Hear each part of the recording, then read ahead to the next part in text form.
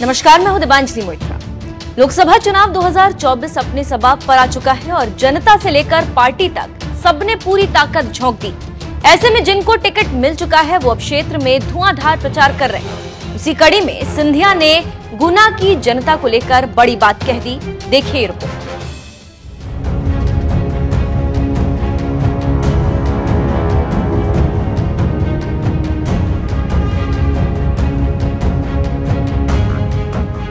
लोकसभा चुनाव को लेकर गर्मा गर्मी शुरू हो गई है और नेता एक दूसरे पर निजी टिप्पणी से लेकर आरोप लगाने से नहीं चूक रहे। ऐसे में जिनको टिकट मिल गया है, वो अपने क्षेत्र में धुआंधार रैली और जनसंपर्क अभियान छेड़े हुए ऐसे ही मध्य प्रदेश के गुना लोकसभा में ज्योतिरादित्य सिंधिया का जनसंपर्क अभियान चल रहा और लोगों से वो जगह जगह मिल रहे हैं। उसी कड़ी में केंद्रीय मंत्री गुना के शिवपुरी में रावत समुदाय से मिल रहे थे।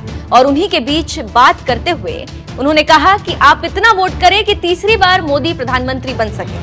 नरेंद्र मोदी की तारीफ़ करते हुए कहा कि मोदी ने अब की बार 400 पार का नारा दिया।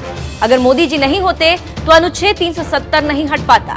किसी में हटाने की हिम्मत नहीं थी। मोदी ने हिम्मत दिखाई, हम आपके लिए स्पाइडरमैन। जब आपको मेरी ज़रूरत होगी, हम आपके लिए हाजिर रहेंगे।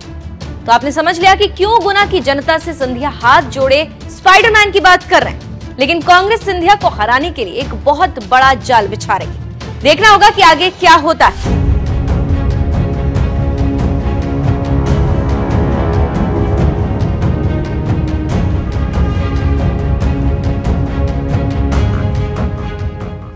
जानकारी देते चले कि साल 2019 में बीजेपी ने केपी यादव को टिकट दिया था, जो ज्योतिरादित्य सिंधिया के दाएँ हाथ माने जाते थे।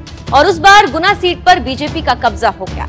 लेकिन केपी यादव की किस्मत खराब थी, जिसका नतीजा ये है कि कांग्रेस से बगावत करके सिंधिया बीजेपी में शामिल हो गए फिर बीजेपी ने उनको पुश्तैनी सीट से टिकट दे दिया और अब वो मैदान में। वहीं कांग्रेस ने राव यादवेंद्र सिंह को टिकट दिया राव यादवेंद्र सिंह अशोकनगर ज़िले से आते हैं। वो फ़िलहाल जिला पंचायत सदस्य हैं।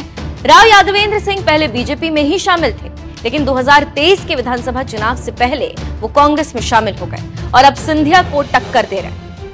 जानकारी देते चले कि सिंह का परिवार राजनीति में काफ़ी सक्रिय है। अब देखना होगा कि आगे गुना का रिज़ल्ट क्या आता है और कौन इस सीट पर बाजी मारता है। इसके साथ ही साथ इस सीट पर एक बार फिर सिंधिया की इज़्ज़त दांव पर है। वही सिंधिया की मिट्टी खराब करने के लिए कांग्रेस ने पूरी ताकत झोंक दी।